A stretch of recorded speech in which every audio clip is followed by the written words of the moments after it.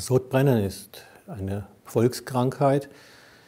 Je nachdem, wie eng man die Definition fasst, kann es durchaus sein, dass man sagt, 20 Prozent der Bevölkerung hat ein Sodbrennen.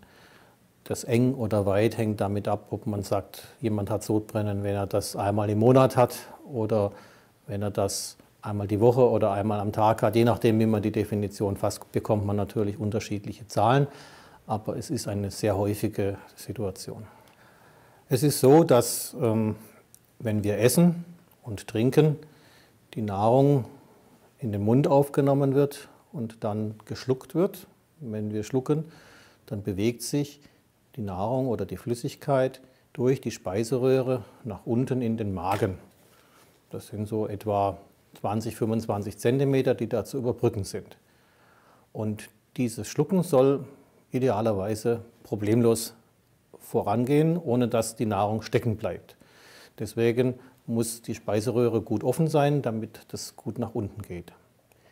Wenn jetzt aber die Nahrung im Magen ist, dann soll sie möglichst nicht wieder zurück in die Speiseröhre gehen. Das heißt, was benötigt wird, ist eine Art Ventilmechanismus. Und diesen Ventilmechanismus hat die Natur so eingerichtet, dass durch das Zwerchfell, was an der unteren, am unteren Ende des Ösophagus liegt und durch die Muskulatur des Ösophagus, der Speiseröhre, da eine Art Ventilmechanismus eingebaut ist. Jetzt hat das Ventil aber zum einen die Aufgabe, nichts nach oben kommen zu lassen und zum anderen die Aufgabe, das, was von oben kommt, gut durchkommen zu lassen. Und wie immer im Leben, wenn man einen Kompromiss macht, dann muss man hier auch machen, dann hat die Natur machen müssen, gibt es an der einen oder anderen Stelle mal Probleme.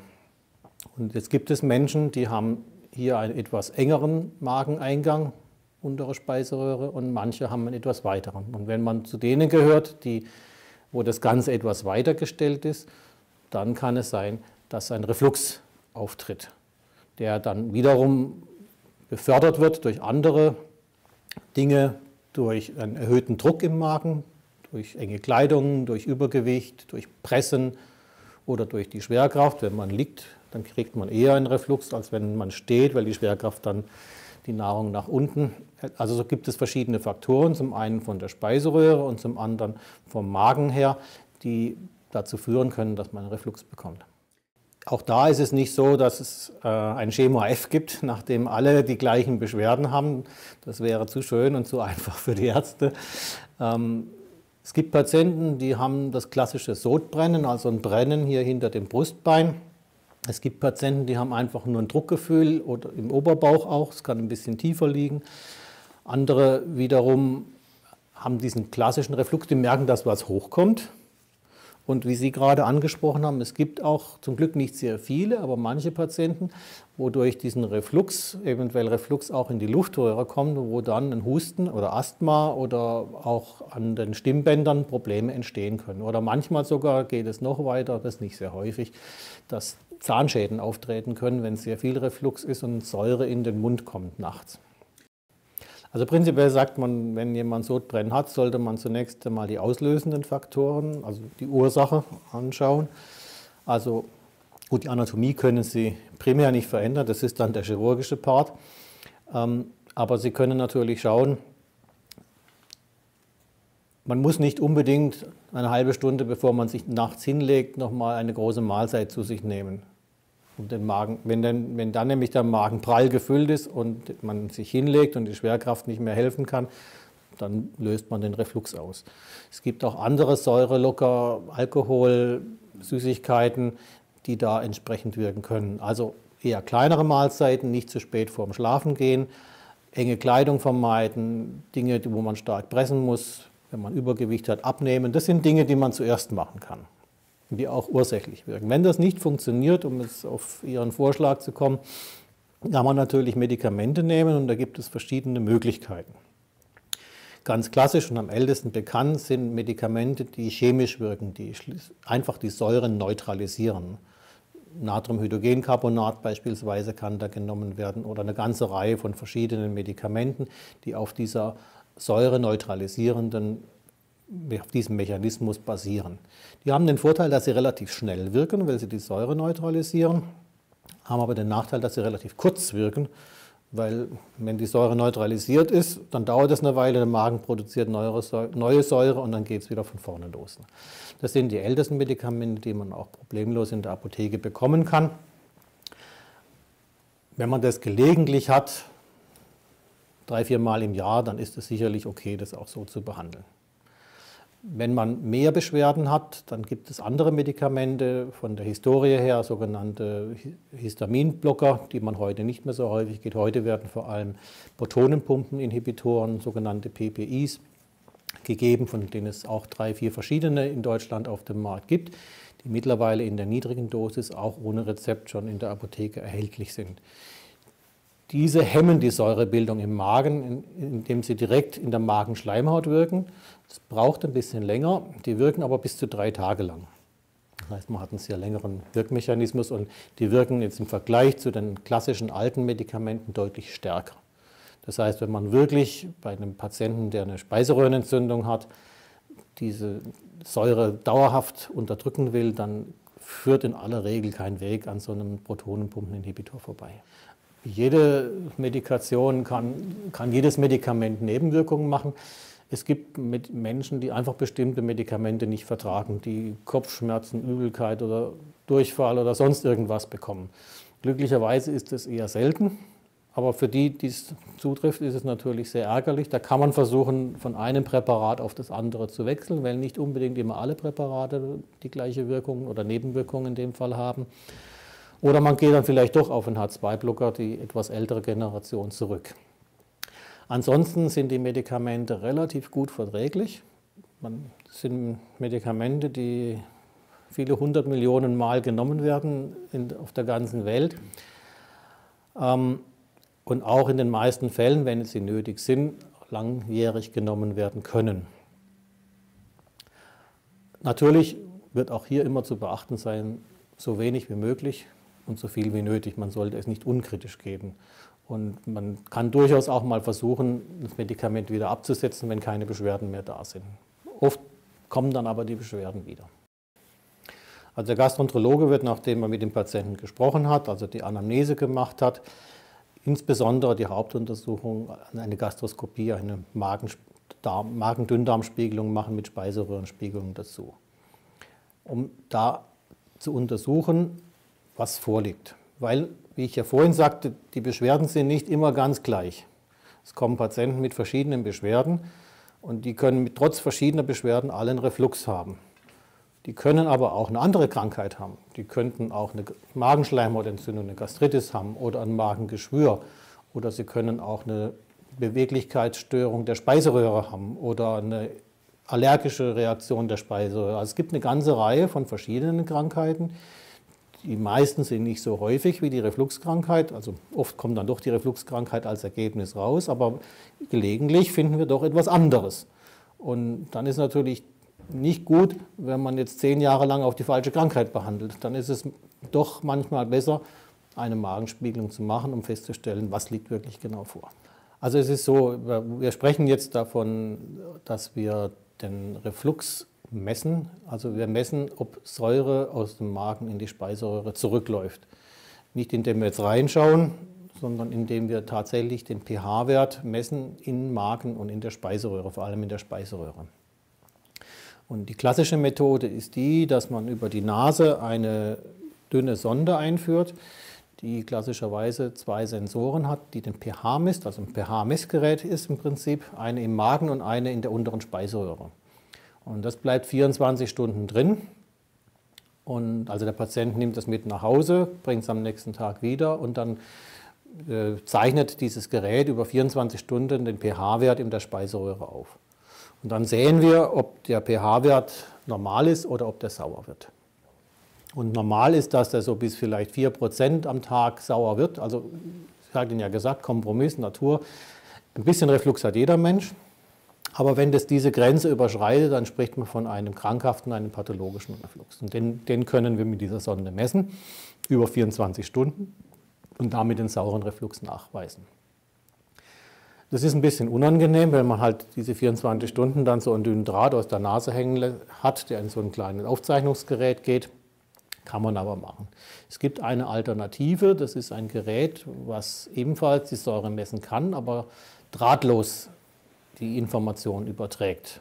Also es ist eine kleine, na, keine Kapsel, es ist ein, ein, kleines, ein kleiner Apparat, den wir in die Speiseröhre hineinbringen und dann mit einer Nadel, die an dem Apparat befestigt ist, in die Speiseröhrenwand hineinstechen und damit befestigen. Das ist wie ein inneres Piercing oder wie so ein Ohrring, den man festmacht, und, aber eben an der Speiseröhrenwand. Und dieser Apparat kann zwei Tage, 48 Stunden lang messen. Es liegt an der Batteriekapazität, aber man hat damit die Möglichkeit, zum Beispiel einen Tag ohne Medikamente und einen Tag mit Medikamenten zu messen. Ist ein bisschen komfortabler von daher, also man kann auch da alles machen. Ja, ich habe mal einen Patienten getroffen, der war gerade beim Fahrradfahren und der mich so eine Sonde eingebaut hatte. Und er sagte, hallo, am Samstag dann unterwegs was natürlich auch die Real-Life-Bedingungen dann widerspiegelt. Hat so ein bisschen das Problem, das kostet, glaube ich, so um die 150 Euro, was die Krankenkassen, die privaten bezahlen, aber die gesetzlichen nicht unbedingt bezahlen. Wie ich schon vorhin sagte, es gibt verschiedene Krankheiten und es kann natürlich auch sein, dass ähm, dieser Reflux, der ja die Speiseröhrenschleimhaut schädigt, durch diese chronische Schädigung in der Speiseröhrenschleimhaut eine Umwandlung auslöst. Die erste Form dieser Umwandlung ist nach dem ursprünglichen Beschreiber, einem Herrn Barrett, als Barrett-Ösophagus bezeichnet. Das haben relativ viele Patienten mit Reflux. Und dieser Barrett kann, wenn er lange Zeit besteht und die Krankheit nicht gut eingestellt ist, dann Auffälligkeiten aufweisen, sogenannte Dysplasien oder intraepitheliale Neoplasien. Das ist das Gleiche, aber das ist so eine Fachbezeichnung dafür. Und die können niedriggradig sein und hochgradig. Und Sie sehen, es sind mehrere Schritte. Da, und irgendwann kann es dann zu einem Krebs kommen. Was mir ganz wichtig ist, das ist selten. Also ich möchte jetzt nicht allen Angst einjagen, die eine Refluxkrankheit haben oder vielleicht auch ein Barrett haben. Die meisten von denen werden nie einen Speiseröhrenkrebs bekommen. Es ist ein bisschen erhöhtes Risiko, das muss man schon sagen, je nachdem wie lang der Barrett auch ist. Aber deswegen kontrollieren wir das auch. Das heißt, wenn wir so eine Barrett-Schleimhaut finden, dann machen wir einmal innerhalb eines Jahres eine Kontrolle, so sagt es die aktuelle Leitlinie, und danach in größeren Abständen, zum Beispiel alle drei Jahre oder alle fünf Jahre, um einfach zu sehen, ob da eine Entwicklung ist Richtung Karzinom. Man kann den Barrett entfernen. Ähm, technisch ist es möglich. Es ist nicht immer sinnvoll weil nicht alles, was technisch möglich ist, sinnvoll ist. Also ein einfacher Barrett ohne solche Dysplasien wird nicht empfohlen, ihn zu entfernen, weil das Risiko größer ist der Nebenwirkungen, als das, das hilft, weil das Risiko für den Krebs, wie ich es gerade sagte, sehr niedrig ist. Wenn Sie aber so einen Barrett haben mit Dysplasien, dann, dann kann man ihn endoskopisch entfernen. Ähm, der Chirurg kommt eigentlich sekundär ins Spiel. Ähm, es sind in aller Regel in unserem Refluxzentrum entweder Patienten, die direkt über Medien, über Internet ähm, auf unsere Sprechstunde aufmerksam werden, dann vorstellig werden, weil sie entweder mit den sogenannten PPIs oder anderen Medikamenten unzufrieden sind, aufgeschreckt sind durch die Presse, ähm, wo, sage ich mal, viele Nebenwirkungen für diese Medikamente ja, publiziert werden. Ähm, Professor Andus hatte das ja gerade schon relativiert. Und ähm, das tue ich auch in der Sprechstunde, nehme also den Patienten mal vorwiegend die Angst, weil es gibt viele Patienten, die mit den Medikamenten tatsächlich sehr gut eingestellt sind, beschwerdefrei sind. Und ähm, dann darf man nicht vergessen, dass die Chirurgie, die Operation ja auch nicht nebenwirkungsarm oder nebenwirkungslos ist, also auch Komplikationen haben kann. Das heißt, wir beraten auch viele Patienten, nehmen ihnen die Angst und die gehen wieder zufrieden nach Hause und sagen, ich bin zufrieden und nehmen die Medikamente weiter. Und dann gibt es aber die Patienten, die sind unzufrieden tatsächlich, weil sie mal profitiert haben von diesen Medikamenten, aber dann über die Zeit, auch nach Wechsel der Präparate, was Professor Anders ja auch erwähnte, ähm, dass man dann verschiedene Präparate ausprobieren kann, in die Frustration kommen, sagen, mir hilft nichts mehr und ähm, sind dann am Ende des Weges, vielleicht dann auch noch Gastroenterologen aufgesucht haben. Der Gastroenterologe beschreibt eine Refluxösophagitis, also eine Entzündung der Speiseröhre. Und dann ist es so, dass die Patienten tatsächlich ähm, dann auch von mir geschickt werden, wieder in die Gastrologie, in unser Funktionslabor, was wir im Haus haben, zu der pH-Metrie, also entweder der herkömmlichen klassischen pH-Metrie über 24 Stunden oder aber mit dieser Kapsel, ja, die über 48 Stunden messen kann. Und dann natürlich auch die High-Resolution-Manometrie, ähm, die für uns sehr, sehr wichtig ist, ähm, insbesondere im Hinblick auf die Planung einer etwaigen möglichen Operation, weil für uns wichtig ist zu verstehen, wie funktioniert und arbeitet die Speiseröhre, weil es gibt ja verschiedene Operationsverfahren und ähm, ich muss wissen, funktioniert die Speiseröhre so, dass der Speisebolus, der vorhin auch schon beschrieben wurde, der wird nach unten transportiert in diesem Muskelschlauch Speiseröhre, wird nach unten gedrückt. Und da gibt es, sagen wir so, wie Menschen alle unterschiedlich sind, ist auch die Speiseröhre nicht gleich bei allen Menschen. Da gibt es die Menschen, die eine etwas kräftigere Speiseröhre haben, die also mit viel Kraft die Speise nach unten drücken können, über dieses Ventil hinüber. Und es gibt Menschen, die haben eine eher sehr schwache Speiseröhre. Wo der Muskel offenbar nicht so gut ausgeprägt ist. Und ähm, deshalb diese Messungen machen wir und wenn wir diese Messungen haben, dann haben wir, sage ich mal, diese Zusammenarbeit, indem wir die Magenspiegelung haben, die pH-Messung und auch die Manometrie und verstehen dann, sind die Symptome, die der Patient mit Reflux in ähm, Einklang bringt, sind die überhaupt Reflux oder steckt vielleicht eine andere Erkrankung dahinter? Es ist auch schon angeklungen, es gibt andere Entzündungen der Speiseröhre, Eosinophile, Ösophagitis ähm, oder eine Achalasie, das sind Motilitätsstörungen. Auch die können mal ähnliche Symptome machen. Aber wenn wir dann sagen, es ist die klassische Refluxerkrankung mit diesen, sage ich mal, über 4 Prozent ähm, Refluxepisoden nachgewiesen in der Perimetrie und wir sehen dann in der Manometrie noch dazu, dass der untere Schließmuskel dieses Ventil schwach ist, dem also nicht viel entgegensetzen kann, dass die Säure wieder aus dem Magen aufsteigen kann. Und ähm, dann haben wir diese, die Refluxkrankheit bewiesen. Dann ist die Frage, wie machen wir weiter? Dann gibt es natürlich immer noch die Möglichkeit, Medikamente, die der Patient vielleicht noch nicht eingenommen hat, auszuprobieren oder aber dann verschiedene operative Verfahren vorzustellen. Jetzt gibt es seit über 60 Jahren die klassischen Operationsverfahren, die wir alle gut kennen, die in vielen Studien untersucht sind. Das ist ähm, die Reparatur des Zwerchverbruches. Und das ist natürlich auch die Domäne der Chirurgie. Viele Patienten, die unter Reflux leiden, haben auch ähm, einen, sage ich mal, einen Zwerchfellbruch, die sogenannte Hiatushernie. Und die kann man natürlich nur chirurgisch reparieren. Die lässt sich nicht endoskopisch reparieren. Die kann man auch mit Medikamenten nicht beeinflussen. Also das muss repariert werden. Und da wird ähm, die Speiseröhre während der Operation kalibriert mit einem entsprechend durchmessenden Magenschlauch, den man von oben einführt in die Speiseröhre, um dann die Zwerchfellmuskulatur wieder der Speiseröhre eng anzulegen. Aber eben auch nicht zu eng, um keine Schluckstörung zu erzeugen. Das ist immer der erste Schritt der Operation. Und im zweiten Schritt muss man dann etwas tun, was gegen den Reflux hilft. Und da hatte ähm, der Herr Nissen seine Funduplicatio, also, das, also die Magenmanschette, wo er den Fundus um sich rumschlägt, um 360 Grad vorne vernäht, entwickelt. Dann hat man festgestellt, mit dieser klassischen Funduplicatio nach Nissen gab es sehr, sehr viele Patienten mit Schluckstörungen. Dann ähm, hat man diese Manschette etwas lockerer, etwas weniger breit gemacht. Dann hat man gesehen, es gibt weniger Patienten, die Schluckstörungen haben. Und dann später hat man noch die 270 Grad Manschette entwickelt, die Manschette nach Toupet, die 270 Grad nur rumgeht. Beide Manschetten sind in der Refluxkontrolle, das haben viele Studien zeigen können, sehr gut. Ähm, es gibt mehr Rezidive des Refluxes bei der Toupet-Manschette und mehr, Rezidiv, also mehr Patienten mit Schluckstörungen bei der Nissen-Funduplikatio, also bei der 360-Grad-Manschette, was logisch ist, ja, wenn man sich das vor Augen führt. Und weil aber natürlich diese Verfahren, man kennt sie lange und man kennt die Vorzüge, aber eben auch die Nachteile und weiß, dass etwa 25 Prozent der Patienten eben nicht zufrieden sind, weil sie Schluckstörungen haben, weil sie Aufstoßen haben, Blähgefühle haben und dann zwar keinen Reflux mehr haben, aber trotzdem eine nicht gute Lebensqualität. Und da haben sich jetzt in den letzten Jahren andere Verfahren entwickelt, die auf den Markt gekommen sind. Da gibt es zum Beispiel ein Magnetband, ähm, was man um den unteren Schließmuskel der Speiseröhre herumlegt, genau ausgemessen. Und dann ziehen sich diese Magnetbausteine zusammen, verstärken also dieses Ventil und verhindern das Aufsteigen der Säure, also verhindern den Reflux. Bedingt aber, und deshalb ist zum Beispiel diese Manometrie, diese Druckmessung sehr, sehr wichtig für uns, eine starke Speiseröhre, weil der Speisebolus, der von oben kommt, muss durch eine kräftige Speiseröhre durch diesen Ring hindurchgepresst werden. Dann öffnet sich dieser Magnetring und wenn der Speisebolus durch ist, schließt sich der Magnetring wieder. Sicher ein effektives Verfahren, bedingt aber eben eine gut funktionierende Speiseröhre.